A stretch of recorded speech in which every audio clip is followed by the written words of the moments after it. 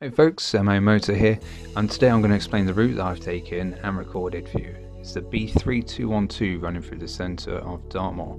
Runs from Princetown through Two Bridges, all the way to Moretonhampstead, and I finished the route off in Exeter. It's an amazing route full of twisties, lovely towns, and beautiful open moors. Stay tuned to watch the route, and don't forget to subscribe and hit that bell notification to stay in touch.